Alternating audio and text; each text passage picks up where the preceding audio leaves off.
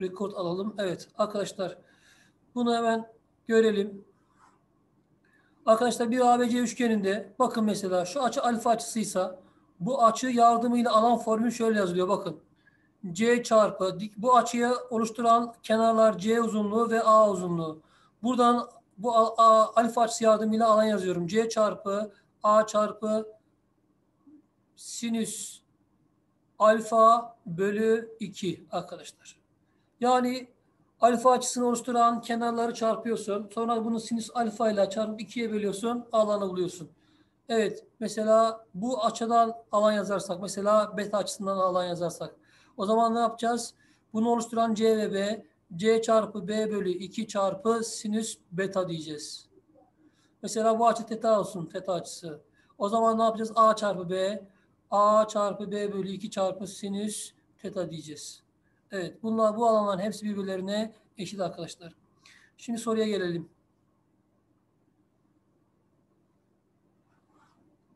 Okuyorum. ABC ve EBD üçgenleri birer üçgen. AE'nin uzunluğu 6, EB'nin uzunluğu 4, CD'nin uzunluğu 3 birim verilmiş.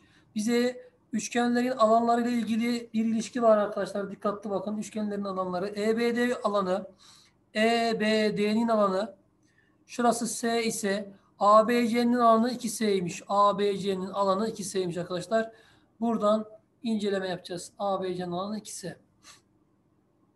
Bize BC'nin uzunluğu diyor. BC'nin uzunluğunu bilmiyoruz. X yazıyorum buraya arkadaşlar. Şu alfa açısını kullanacağım. Dikkatli bakın. Bu alfa açısı hem ABC üçgen için hem EBD üçgen için ortak açı. Dolayısıyla bu iki üçgen için alan formülünü yazıyorum. Bakın önce alan ABC yazıyorum. Alan ABC diyorum. Alan ABC'yi işaretliyorum. Şurası ve şurası. Buradan alan formülü 10 çarpı x 10 çarpı x bölü 2 çarpı sinüs alfa olacak. Şimdi EBD'nin alanı yazıyorum. Alan EBD. EBD. Bunu yazıyorum şimdi. Gençler. Alan EBD için gençler bunu işaretliyorum maviyle. B, E ve D. Burada alfa açısı ortak. Uzunluğun biri 4, diğeri x artı 3. Bakın 4 çarpı x artı 3 bölü 2 çarpı sinüs alfa olacak. Şimdi bana diyor ki EBD'nin iki katı ABC diyor. Bunu 2 ile çarparsak yukarıdakine eşit olacak arkadaşlar. Yazıyorum şimdi. 10 çarpı x bölü 2 çarpı sinüs alfa eşittir. 2 tane. Bu iki nereden geldi? Şuradan geldi. 2 tane EBD. 4 çarpı x artı 3 bölü 2 çarpı sinüs alfa. Burada sinüs alfalar ortak. Üzerlerini çiziyorum. Sinüs alfalar gitti. Sadeleştiler. Gitti. Gençler şu ikiler de paydalarda olduğu için gitsinler. Evet gençler. Buradan 10x eşittir diyoruz. Şurası 8 yapıyor. 8'i içeriye çarpma olarak dağıtıyorsunuz gençler. 8 çarpı x 8x 8 çarpı 3 24 yaptı. Artı 24 yaptı. 10 tane x'ten 8 tane x'i alırsanız 2 tane x kalıyor buraya. 24'ün karşılığı 2x oldu. X'in karşılığı 12 bulunmuş oldu. Demek ki BC'nin uzunluğu kaçmış arkadaşlar? 12 birimmiş. Anlaşılmayan bir yer var mı? Geçiyorum. Geçiyorum. Evet, bir üçgen, bir ABC üçgeninde evet bunu inceleyelim.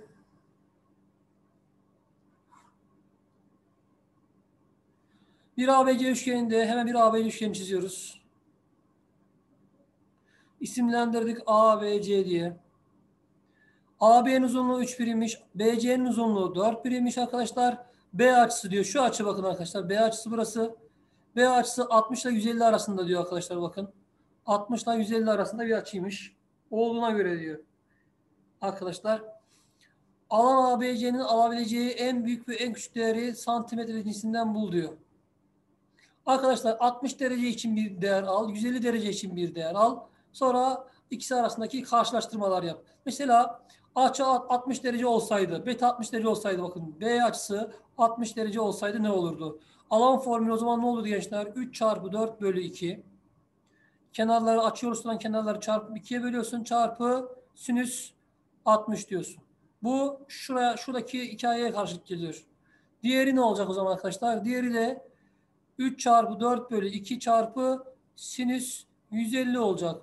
Sinüs 150 ne anlama geliyordu gençler? Sinüs 150 sinüs 30 anlamına geliyordu. Hatırlayın birbirini 180'e tamamlayan açıların sinüsleri birbirlerine eşitti. Sinüs 180 eksi alfaya karşılık geliyor. Yani bu açı 30 derece ise sinüs 30 bakın sinüs 180 eksi 30. Yani 150 anlamına geliyor. Yani sinüs 30'un anlamı sinüs 150 ile aynıymış.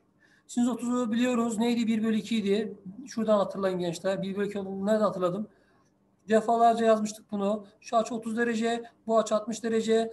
Neydi? Gençler 30-60-90 üçgeni. Burası A kök 3'tü. Burası 2A'ydı. Buradan sinüs 30 derecenin karşısı A hipotenüs 2A. Sinüs 30'un değeri defalarca yazdık bunu. A bölü 2A 1 bölü 2 çıktı. Burası 1 bölü 2'ye eşitmiş bakın arkadaşlar. Sinüs 60 ne yapar buradan? Sinüs 60 ne demek? Komş, karşı, sinüs 60'a bakın. 60 derece burası. Karşı A kök 3. Hipotenüs 2A. O zaman sinüs 60 da bakın A kök 3 bölü 2A'dan kök 3 bölü 2 bulunacaktır.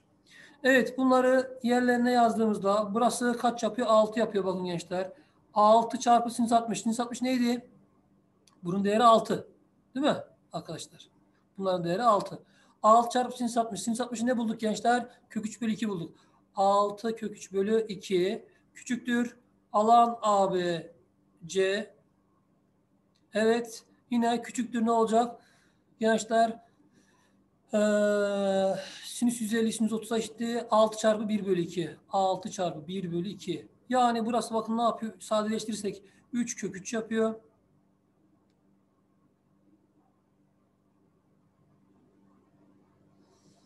Tabi burada şurayı tam değiştirmem gerekiyor. Tam bu arada bu ifade doğru olmadı. Çünkü 3 kök 3 arkadaşlar 3'ten daha büyük bir değer. Mavili devam edelim. Şöyle olması gerekiyordu. Burası 3 çıkıyor bakın gençler. 3. Demek ki alan arkadaşlar 3 kök 3 ile 3 arasında bir değer olacakmış gençler. Anlaşılmayan bir yer var mı? Şu eşitlik olduğu için buralara eşitlik yazıyorum arkadaşlar bakın. Alan ABC 3 ile 3 kök 3 arasındaki bir değermiş arkadaşlar. Birim kare. Her neyse. Bizde ne soruyor? Alan ABC'nin alacağı en büyük ve en küçük değer kaç santimetre karedir diyor. İşte bu arada bir değer olacakmış. Geçiyorum arkadaşlar.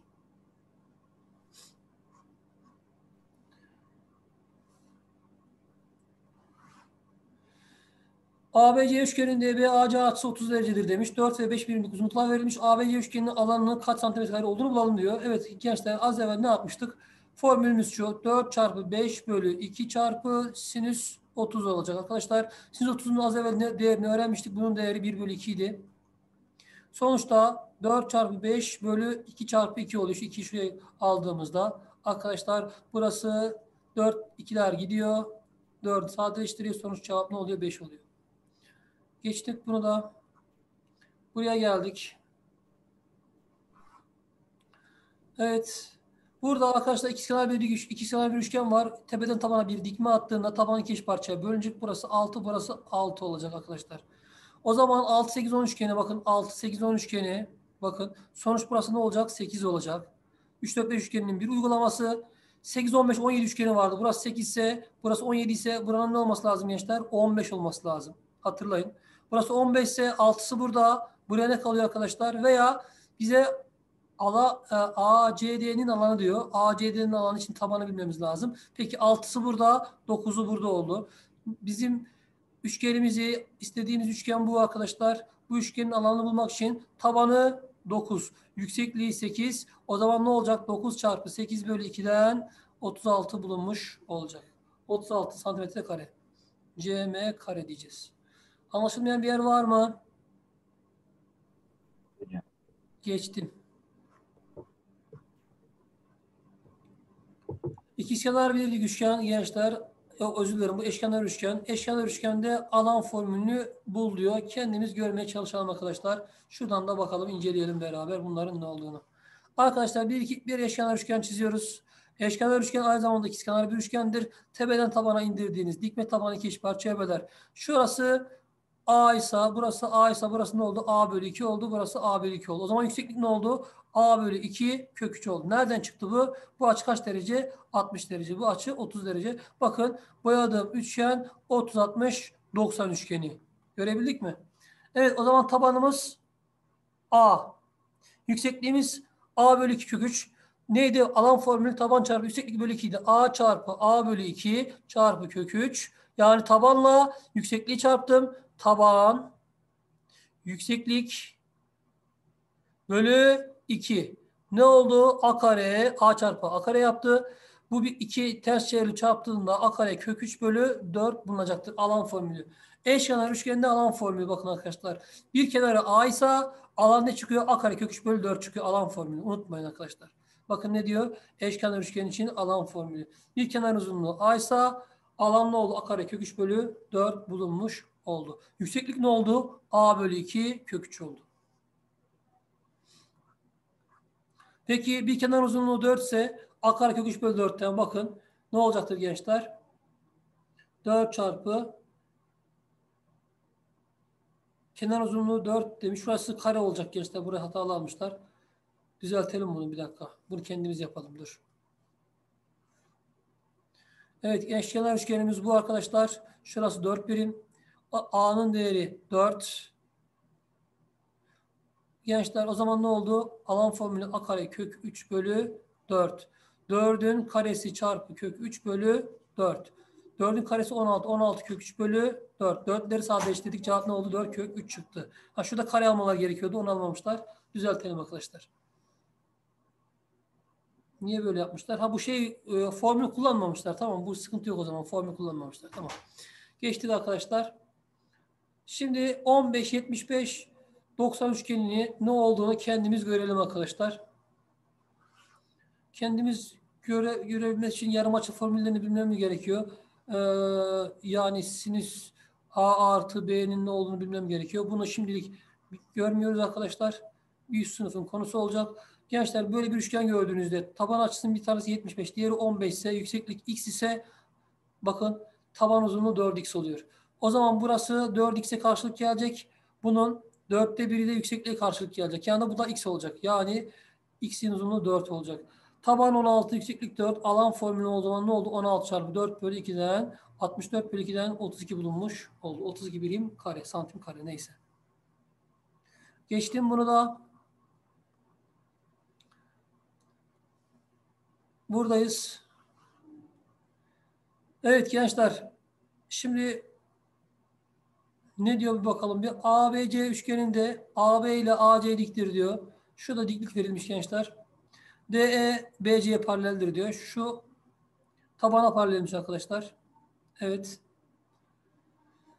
Evet. E, DEC'nin alanı kaç santim karedir diyor. DEC'nin alanı kaç santim karedir? D, E, C'nin alanını istiyor bizden. Arkadaşlar. Şimdi burası 4 birim ise şurasını paralel çektiğimiz zaman 4 birim yapar. Peki ne işimize yarar bu? Şimdi arkadaşlar bizim şunu göstermemiz gerekiyor. Dikkatli bakın arkadaşlar. Şu taban şu alan ile bakın arkadaşlar dikkatli bakın. Şu uzunluğa A diyelim. Şuradan bir yükseklik alayım. Şu yükseklik H olsun. 90 derece. Peki dikkatli bakın arkadaşlar. Şu üçgen ile şu üçgen ile bakın şu ikisi paralel olduğu için dikkatli bakın. Yeni bir üçgen çiziyorum mavi ile. Çok önemli. B ile E'yi birleştirdim. Taradığım üçgene dikkatli bakın arkadaşlar. D, B, E üçgenine dikkatli bakın. D, bakın D, E, C üçgeninin tabanıyla D, E, B üçgenin tabanları A birim. Bakın görebildiniz mi? A birim. Peki yükseklikleri ne? H. Tabanları aynı. Yükseklikleri aynı olduğu için bu iki üçgenin alanı birbirine eşittir. Yani şu alan arkadaşlar DEC üçgenin alanına eşittir. Yani bu alan alan DEC alan D E B'ye eşittir. Peki bu üçgenin alanı nasıl bulacağız? Tavanı 4 birim bakın. Yüksekliği kaç birim? 5 birim. Tepe noktasını burası kabul ederseniz taban 4 oluyor. Yükseklik 5 oluyor. Demek ki bu mavi üçgen 4 çarpı 5 bölü 2 olarak bulunacak. Yani 10 birim 10 santim kare olacak. Demek ki bu mavi üçgen aradığımız üçgen eşitti. Cevabımız bakın ne oldu? 10 cm kare bulunmuş oldu. Var mı anlaşılmayan bir yer? Geçtim. Cevap gelmiyor yine. Eşkenar üçgende arkadaşlar burada bakın dört tane alan var. Bu dört alanda birbirlerine neymiş gençler? Eşitmiş. Evet. Sesim geliyor değil mi? Anlaşılmayan bir yer var mı arkadaşlar? Hiçbirinizden bir tepki gelmiyor. Yok hocam dinliyorum. Anlaşılmayan Yok bir yer hocam. nasıl müdahale et anlamadım de oğlum. Evet. Tamam hocam. Bize diyor Tamam ki şu üç alan birbirlerine eşittir diyor. Bak dört alan birbirlerine eşittir diyor. Olur mu arkadaşlar? Bu dört alanda birbirlerine eşitmiş. Bu alanları S olarak gösterdim. Anlaşılmayan bir yer var mı? Geçiyorum. Bakın buradaki alanlar birbirlerine eşittir diyor. Dikkat edin. Burada dikkat edin. Burada eşkenar olarak almamışlar. Herhangi bir üçgen almışlar. Üçgenin kenar orta noktalarını belirlemişler. Bunlar kenar orta noktaları bakın gençler. Bu- Bunlar bunlar eşit olacak diye bir kaydı yok. Kenar orta noktaları. Dolayısıyla burada dört tane alanın birbirlerine eşit oluyor. Yani eşkenar üçgen olacak diye bir kaydı yok burada. Bunu da üçgenle benzerlikten görebiliriz arkadaşlar. Bu, bu kuralların her biri üçgenle benzerlikten çıkıyor arkadaşlar. Şimdi DEF'nin nokta DEF orta noktalar demiş galiba. Bakın evet DEF orta noktalar yani şu parça şu parça eşit.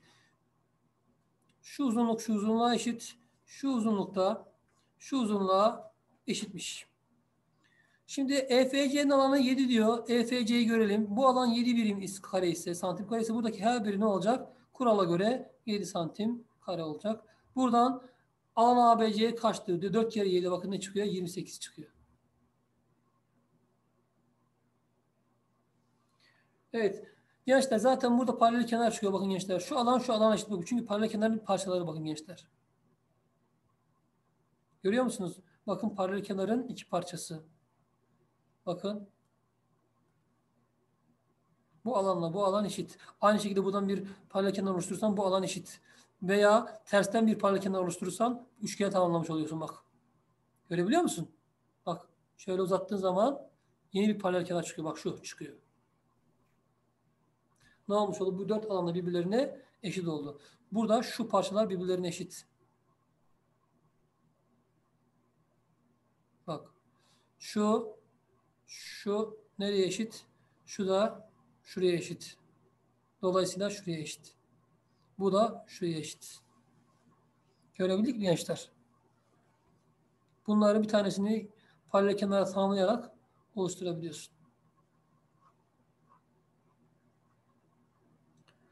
Yükseklikleri eşit olan üçgenlerin taban uzunluklarının değişim oranı ile alanların değişim oranı arasındaki ilişkiyi dinamik metre bul diyor. İşte bunu geçiyorum arkadaşlar. Bizde dinamik metre yok. Şimdi bize diyor ki alanların oranı tabanlar arasındaki ilişkidir diyor. Bunu daha önce anlatmıştık, bahsetmiştik. Tekrar bahsedelim arkadaşlar.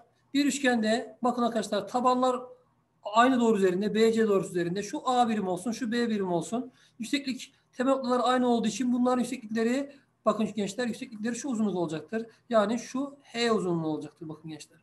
Dolayısıyla bu A çarpı H bölü 2, bu da B çarpı H bölü 2'dir. H bölü 2'ler ortak olduğu için H bölü 2'ler alanlar oranlandığında sa- sadeleşir. Sadece A ve B kalır. Yani tabanların oranı alanların oranına karşılık gelecektir. Yani A bölü B çıkacaktır. Evet.